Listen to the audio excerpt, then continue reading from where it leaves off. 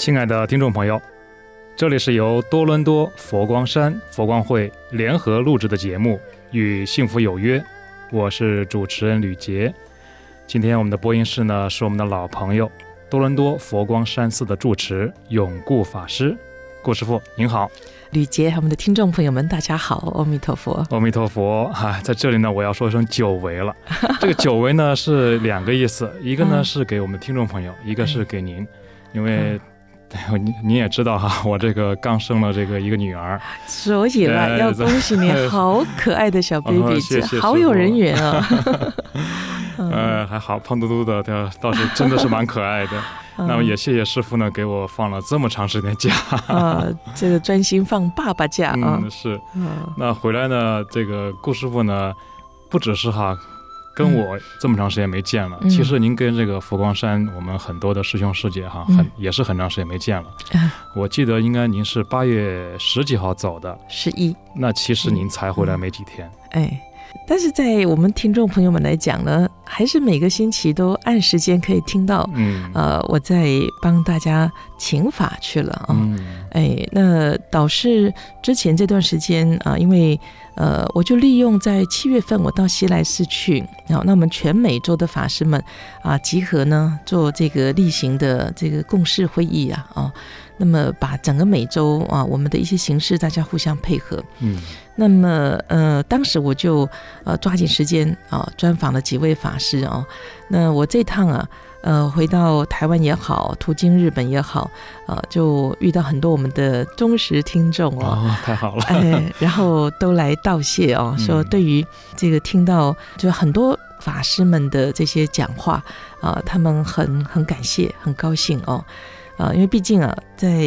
呃，就即便是到啊、我们总本山也好，或者是国际会议里头遇到一些法师，但是并没有那么深入的去听他们啊、不管是谈自己啦啊、或者是谈呃自己所在的啊、服务的这个单位的一些这些内容啊情况哦，是比较少有的啊，所以我想，哎，无意之中哦，我们这个呃怎么讲，顺着这个因缘哦，谈出来的这个计划，照着去做，还真是呃受到好评哦，哎，那么。呃，所以我说，虽然我不在录音室里头啊、为大家做这个呃演播、哦，但就是去采访，然后录音下来啊、趁着我也不在的时候啊，啊、那么呃，这个主持人的部分倒是由淑芬啊、嗯去帮忙做一个衔接哦，也都非常好哦。哎，所以我回程到日本去讲演的时候啊，啊，在日本的听众啊，就好几位啊，都来道谢啊。那真是我们的听了也很鼓舞啊。哦，是哦，嗯呃，其实也有录了几段这个采访啊、请他们讲一分钟左右了。嗯呃，那希望有机会在呃我们的节目里头也可以呃做一个回响的一个呃播放，这样啊。所以顾师傅，您这个随身带着这个录音笔啊，是嗯一定要好好保存。现在哦，现在就更容易了耶。嗯以前呢，我就要带一个小录音机嘛，嗯收音机哦。那现在就是因为呃手手机，机对，哦所以我这次特别把那个手机的容量扩大了一点。啊，那么要录音啦，这些就这个就不用担心说录到一半，哎，没有容量了。嗯。所以顾师傅，您除了这个主播之外，您还是兼任的记者。哦，这次就全当这个身份哦。嗯那所以听众朋友们应该是每个星期还是一样听到我的声音啊，只不过我跟大家讲，其实那个是因为要把握那个机缘呢，对，呃，其实是事先就先把它呃采访起来、录起来啊，那么啊、在适当的时候啊、一定给我们听众朋友们啊去呃这个分享哦，呃，那所以这趟其实呃也真的是整整出门一个月嗯啊、那比较特别的就是说，我们一向呢，呃，带信徒回山上或者参与国际佛光会，大部分呢配合这个世界总会的这个会议的期间哦，大部分在十月。这一次呢，就因为配合啊八、月份，其实是农历七月二十二，对，大师的九十华诞哦，加上呃总本山开山五十周年的共生法会，所以这次这种国际性来自全球各地的信徒代表人数比较多啊、那我们多伦多就有上百位啊。嗯。哎，听说两两辆大 bus 啊，呃两辆那还是在呃途中，嗯，到了呃大师生日的前一天二十三号，啊，还有几位是特别赶上山的，哦，专程飞回去，就请假三天也飞回去，哇啊，所以加起来就上百人，就是这样。嗯，那么呃，在就路上这样走的有八十二位啊，是搭游览车的八十二位啊，那其他回到山上还有再十几位、二十位再加进来嗯，啊，那么呃，所以大家真的是很有心嗯啊，只不过嗯，大家都辛苦了。啊，因为刚好赶上，你像到了日本吧，他们说是四十年来最热的一年。哦，日本也这样，嗯哦，嗯、我们嗯在那里走的时候，大概都三十八度、三十九度啊、其实很晒。其实嗯您离开这段时间，加拿大这个过去的刚过去这个八月，也是历史上最热的八月，哦，嗯全球性的吧？对。哦，而且那次我在车上开车的时候听那个广播电台，他讲主持人讲呢，这个过去的八月哈，只有六天下过雨，是，啊嗯哼，也我印象中我，我二十几年前到加拿大时候，那时候的夏天就两个星期嗯，会上三十度。啊，对，对，其他的呢，呃，就是很很舒服的，那二十七度左右这样啊，哎，那那现在就要到这个时候来才降到这个这个温度啊，所以可能真是全球性的暖化嗯，暖化，嗯，所以在日本那一段呢，就我看我们的团员，因为在日本那一段本来报名已经快七十人，我赶快喊停啊，不行啊，毕竟那个时候也是日本的叫 Obon 啊，就是他们最大的呃祭拜祖先的这段时间，他们也放假也怎么样，那包含很多包含吃吃饭的地方，他们也要放假呀哦，啊，就是嗯那个时候。行走在那里比较不容易了啊，我就把人数就拜托一些已经去过的人退出啊，人家要组团不容易，我们还劝人家退团哈。嗯呃，就日本就是保持一部游览车哦，啊，四十五人，然后去到台湾才又台北增加第二部，回到本山。呃，就其他二十几个再加入，这样嗯啊，就分段分 A、B、C 三段时间这样。呃，那呃，日本就从东京别院先啊，然后就到法水寺，还在建设中的法水寺。哦，啊，那法水寺它那个，我们光到那个公路旁啊，就走在路上，已经远远看到了，哇，那个这这个殿堂，呃，真的是很，因为整座山里头，你很明显看到一座中国寺院在那里。哦那我就请教这住持满润法师啊，啊，我说哇，这个大雄宝殿挑高三层楼高，我们多伦多啊两层楼高就够高了吧？哦，嗯，是，哇，他那个地方更那种叫高广大那种感觉啊，整个气势很大哦。嗯。那玉佛一尊好大一尊啊，呃，光是要呃把这尊玉佛要运上去啊，我听说是分几天呢、哦，分段式运上去的啊，好像接力的这样哦。嗯哎，那嗯那满润法师讲，他说这个高度啊是按照荣师傅讲的去做。荣师傅说得要在山脚下就看到的那个高度，特别这样做的嗯，啊、所以那边势必未来哦，我觉得日本它是可以讲日那个佛教文化是融入他们的生活中啊、嗯但是经过又这个明治天皇那个时期，他要呃整个用西方的文明去取代汉化，就是说呃整个中国对他们的影响。呃，所以做了一些呃改变。那今天我们话题不在这里了，我们还是以整个共生团的行程嗯来跟大家做一个分享报告啊。那么呃，总是在这样子的情况之下，他们好像有佛教，但又好像没有。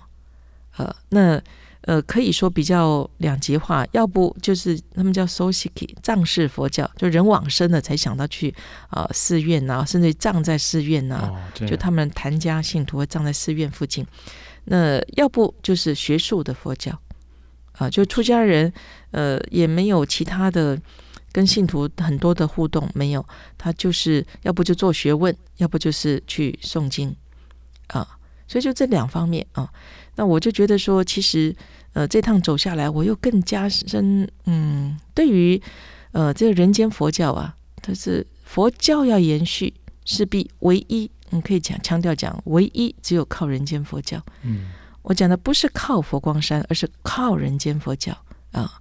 这个我又更更确定啊。尤其师傅这一次出版的这本新书啊，最新的这一本呢、叫《人间佛教佛陀本怀》这一本啊。那么在这国内啊，也在师傅生日那一天吧，新书发表哦。我我更加感受到啊，是要靠人间佛教的。嗯包括日本佛教也是一样的。那么总是我们在日本之后到呃京都啊、大阪啊，因为碰上这个酷暑啊，嗯 最炎热的这个暑期哦，所以大家走下来也蛮辛苦，我觉得嗯啊，常常因为日本寺院都是走在路上嘛，哦啊，呃，不一定交通可以啊一路代步这样啊，所以我觉得这段如果不是凭着说哦，我一定要回到中本山啊，我一定要亲自啊行弟子之礼为师父祝寿啊，或者是说啊五十周年我一定要啊参与到这全球共生的盛况哦，那么如果不是这个信念维系着的话，我看很多人会病倒的。嗯中暑啊，啊，那所以走来真不容易。然后就回到台湾啊，从台北国际机场进，然后先到宜兰啊，到佛光山的摇篮啊，这个最早雷音寺，现在叫南洋别院，嗯重建之后叫南洋别院啊。呃，那到那一段呢，我倒是，呃，他们继续走宜兰那一段，我就留在台北道场，就人间卫视录影。嗯啊。那他们绕回来的时候，呃，参参访这个台北道场的时候，正好是我在录影的时候，啊，我就看到他们在那个那个摄影棚外头，啊，啊还有人拍照，啊，就是呃，看到那个闪光灯在闪，啊，后来就被制止了，因为影响棚内的录影嘛，嗯，那所以都都算顺利。这趟就回到呃山上之前，有两个比较特别的行程。啊，一个呢是在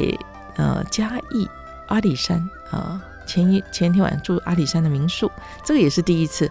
啊。那这么多人，好像一家人挤在那里，也蛮可爱的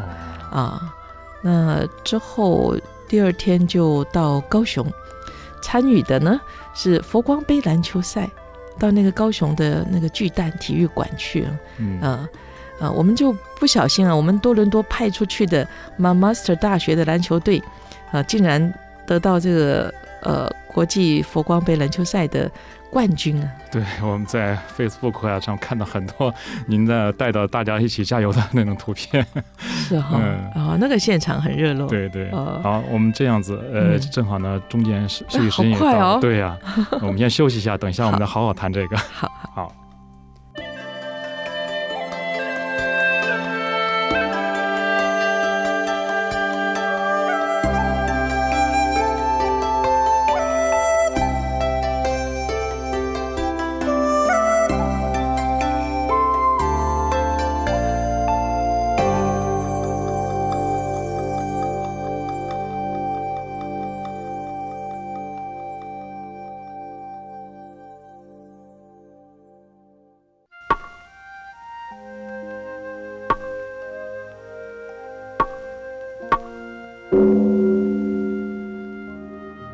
养生之道在于吃得淡、吃得粗、吃得少；处世之道在于吃得苦、吃得亏、吃得重。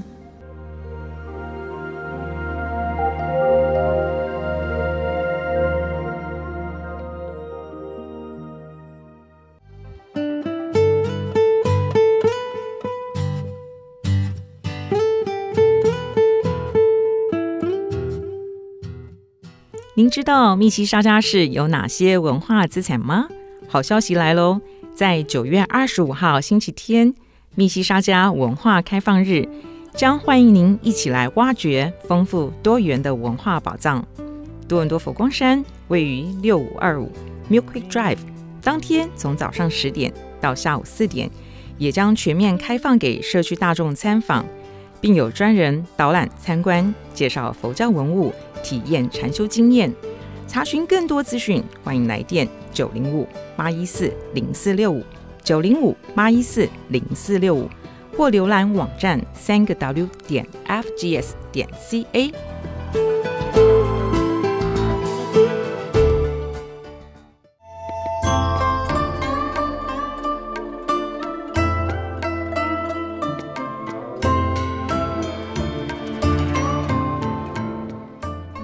菩萨妙难酬，清净庄严累劫修。千处祈求千处应，苦海常作渡人舟。为庆祝观音菩萨出家纪念日，多伦多佛光山将于十月九号星期天早上九点半至十二点半举行大悲忏法会，祈求礼拜广大灵感观音菩萨的功德，福慧增长，风调雨顺，阖家平安吉祥。查询法会相关资讯，欢迎致电多伦多佛光山。电话九零五八一四零四六五九零五八一四零四六五，或上网浏览三个 W 点 FGS 点 CA。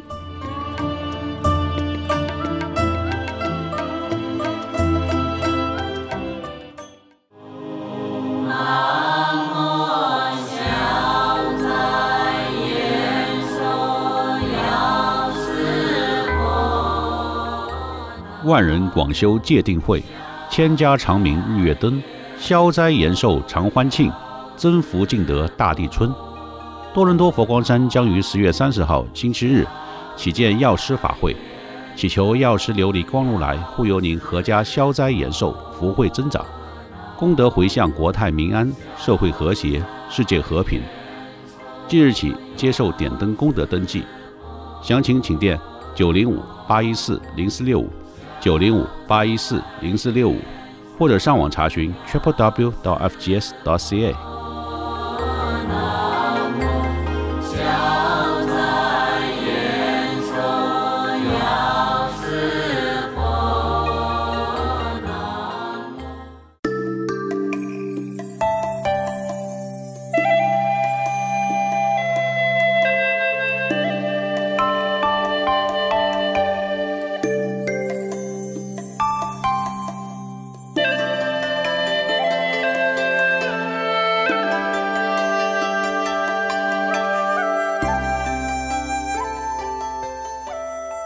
亲爱的听众朋友，欢迎再次回来。嗯，哎，郭师傅，那上半段最后一段呢，我们提到的这个有一个很有意思的哈，是这个篮球赛篮球赛，对，嗯而且呢，冠军呢也是正好我们多伦多派出去的麦克马斯特嗯大学的球员们。是是，在此之前，我听说这个行程其实是你们早就定好的，是要去看这个决赛的。嗯，但是呢，没想到决赛正好就是多伦多的球队。对，这个倒是没有，这嗯没办法预估，是，因为他经过多少轮的这个比赛，然后进入八强，进入四强，然后再进入最后总决赛嘛。对，啊，又有男子队，又有女子队，都分开来，嗯分头哦，各个不同场次比了好几天呢。对啊，那么这个呃，大家可能听众朋友们会觉得比较呃新鲜一点，说啊，有没有听错啊？这是佛光山办的篮球赛吧？啊、嗯，那因为大师其实很希望我们佛教徒啊，大家给人的形象不是呃像过去以往那样哦，到老啦，到怎么病啦，什么、哦这样哦。我觉得师傅一来他喜欢篮球，二来他带来佛教或者人间佛教很阳光开朗的那种形象，是健康的哦，这样。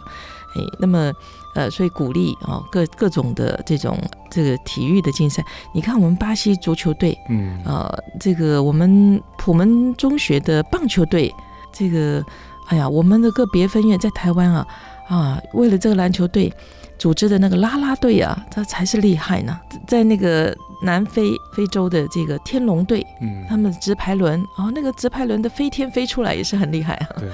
啊，那呃篮球队就是国际性的了，嗯，那我们过去师傅生日的时候哈啊，这早上上佛供，中午共生法会，大概呃共生完大家就陆续离开了嘛，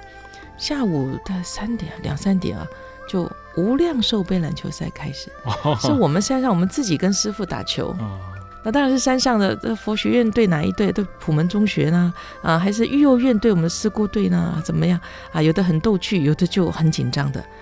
最是精彩应该是普中的篮球队对上呃这个南中学部啊，那个就是很强的啊。嗯那总是我们就用这种方式在纪念，就是跟师傅过生日了。嗯，师傅就说他都不做生日的啊、因为是生日是母难日嘛。就像今年哦，其实呃有一件事情大家听了有点愕然哦，就是哎呀，我们这千里迢迢呃，然后上百人啊、回到总本山要给师傅过生日，师傅不在呀、对我也听说了，啊，师傅在大陆主庭，嗯那么呃也可以说叫必寿吧。其实师傅一向就是嗯，不不过生日的，实在是我们都觉得说礼不可废了。嗯就是还是要让大家记得我们的师傅哦，我们的开山哦。那那么总是呃，师傅说自己过生日，呃，师傅强调是像我们都不能做生日。有一些人会说：“哎呀，什么时候啊要买个蛋糕？不可以的嗯啊！”就是师傅说这一天是要反省，这一天是要感念母恩啊，就是呃。要这是母难日哦，母亲为我们受苦受难的一天呢、啊。这吕杰刚刚当上爸爸，你最清楚了最清楚，对。啊、以前这说句实话，我们都知道，但是呢，没有感同身受。那就是嗯像我这个同修小雨在在生产的时候，我是嗯。完全陪在旁边。最后哎呀这个孩子出来是完全亲眼目睹、亲手剪的脐带，哦，那是真的是，这真是这叫搏命哎不容易，拼命的耶，哦。所以师傅就是强调说，这个母难日哦，那尤其自己可以呃作为这样的一个人，因为太感谢母亲了，嗯。所以师傅呃就是呃在在大陆国内哦就没有在山上，但是我觉得呢，嗯、这样子也也帮助我们呃也做了一个练习啊、就是说，就拿我来讲好了啊，呃，我我没有没有哪一天说师傅不在我心里头的啊，我几乎每一天都在跟师傅对话。我不是说我打电话，就我从来没有打电话的，呃，但是在我心里头呢，呃，比如今天有什么高兴的事情，哎，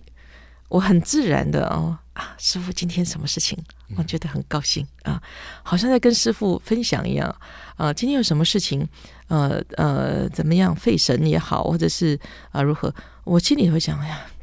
师傅，如果是您，您会怎么处理呢？呃，您会怎么表达呢？我应该怎么学像您这样呢？啊，我我是心中无时不刻在跟师傅对话的哦，嗯所以我没有感觉到师傅离开我啊。那所以这次呢，嗯、大家回去，但我觉得我们这这一团，我刚刚讲这个过程是蛮辛苦的嗯啊。那么尤其人多啊，呃，那回到山上到共生那一天啊，其实前一晚大家就听到了哦，哦，师傅不在，嗯，那嗯、呃我觉得是就是我们团员，因为大部分都是百分之九十九都是老信徒，嗯啊，也很有师傅的精神，就觉得只要师傅健康，师傅怎么做都是最好的。嗯那到当天，呃，就是八月二十四号，啊，农历七月二十二嘛。那么早上呢，是由高希军教授就是为主了嗯，啊，就做了一个分享，那也是集合，就是新宝和尚结合我们大家讲话啊，哎，那之后请啊高希军教授播放呃这个呃天下文化制作的拍摄的师傅的一段采访画面啊，还有采访一些呃这个呃应该讲是在译文界的人吧啊，那他们像你像李志健他们嗯。啊，呃像李志健先生他呃采访那一段我看了真是也是要落泪的啊，他就说他从一个流浪街头的画画家啊。嗯呃，然后到师傅，呃，就是看到他，欣赏他的画作，然后帮助他。所以他说，他的一生都是大师给他的啊啊，他说他知恩感恩，他报恩啊。嗯哦，那一段也讲得很感人哦。那么呃，就之后呃，宝和尚也好啊、慧传法师也好啊，就跟我们讲啊、呃，师傅也录了一段视频哦。啊，师傅讲说，呃，我我们不在山上，就很抱歉啊的。他说你们都在我心中，我我也会永远在你们心中啊。嗯就是呃呃，那那段视频也是大家看的都在擦眼泪。嗯啊但我想大家都知道，只要师傅身体健康，然后师傅也还在为佛教马不停蹄的啊、还在为佛教奔忙啊、其实那一天前一天也是大师在大陆国内呃这个发表呃新书啊啊、就是刚刚提到的《人间佛教回归佛陀本怀》啊。呃，我看其中有一位参与的呃这个媒体人士呢，他讲的一句话，我倒印象很深刻。呃，他说他嗯，他过去看啊、呃就是看着奶奶拜佛，他没有这个信仰的概念，但到那一次参与这个记者会看的这本书哦，呃，他说他会是人间佛教价值观的追随者嗯，啊、哎呀，我就觉得是啊，其实我们都是啊，对，这是从另外一个角度来说这个事情。嗯嗯其实就是我们都在其中，没有想到这个，哎，别人用这个话说出来了。哎哎。哎呀，实际上我们就是因为认同这个理念，对，我们也不是为己求，不是为自己，也不是为了拜拜求求什么，都不嗯是。其实我们在追随着一个价值观对，一个理念哦。嗯哎，那所以我想，呃，师傅这个生日他不在啊、山上哦，但是呃，我们却又很强烈的感受到师傅教给我们的啊、一些啊、不管是磨难日。啊，我们应当反思，应该要感念，或者是说，呃，我们跟师傅的关系其实是建立在法，在在思想上的一种关系哦，嗯。哎，都觉得是很有意义的，嗯，嗯，顾师傅，我觉得这个节目到现在好像嗯。话题才展开，可是我们马上要结束了。呃，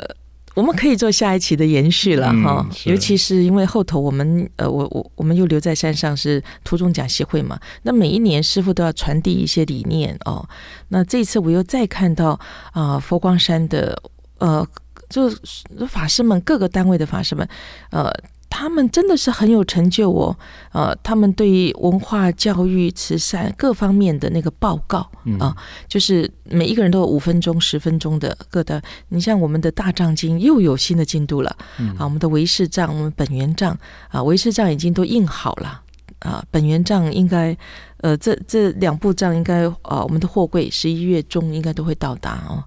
啊，看到他们还有呃这个佛光大词典。在英语翻译的部分的进度啊，种种这些，哎呀，我真是听了我都很高兴。嗯。我当时就在想，哎呀，我要拿到他们的这个报告，然后呢，就 PowerPoint 这些啊，然后呢，我想办法看看这个我，因为才回来这几天还来不及整理哦，就是要要在会员大会上或者是义工围炉啊，什么场合哦，我要呃把它呈现出来给大家，然后要模仿他们讲的那个内容，让大家知道说，其实为什么我们呃在全球。呃，在师傅的这个理念下，我们怎么样在做？其实我们受到太多的感动。嗯，师傅您说出来的话，那您又是给自己设了一个任务了。不过呢，就像你讲的说，呃，我们时间是有限的哈。嗯，然后这一次啊，嗯、我到人间卫视去录影的时候呢，嗯这个这个执行长是觉念法师，他送了我几样作品，最新的哦，有一套是呃这个开山五十周年全球的呃就代表的法师们录影，因为我其中啊、也也有代表加拿大受访哦，他送我那一套 DVD 哈、那另外还有两片 CD。那么最主要的这一篇叫《照亮》嗯啊，照亮，这是呃这个如是我闻，就是特别为大师九十华诞而制作的专辑哦。那由满记法师做这个填这个歌词啊，然后呃制作人是蔡介成先生哦。对，哎，那么另外呢，呃，这个演唱的好几位，哇，这篇真的好好听。制作太精良了，就是啊待会儿就是听众们听了之后，你你我保证你肯定会觉得哇，很吸引人，一定想收藏的感觉。嗯，这个 CD 也是到十一月中啊、才会到达嗯啊、那我我是想说，既然我们今天谈到师傅的九十花旦哦，我们专程为这件事情回去，时间关系，我们就播一小段好吗嗯？好的，啊、作为呃这个一个一个回应嘛。那我们随着这个乐曲的声音哈、我们嗯就结束本期的话题。嗯那最后呢，我还是公布一下我们的联系方式，我们的电话是九零五八一四零四六五九零五八一四零四六五，我们的网址是 www dot fgs dot ca www dot fgs dot ca。好，听众朋友们，谢谢您的收听，我们下周同一时间再会。人间，平安吉祥，是你祝福众生。我们在浩瀚的星空，仰望您的慈心悲愿。我们在人生的前进。光明一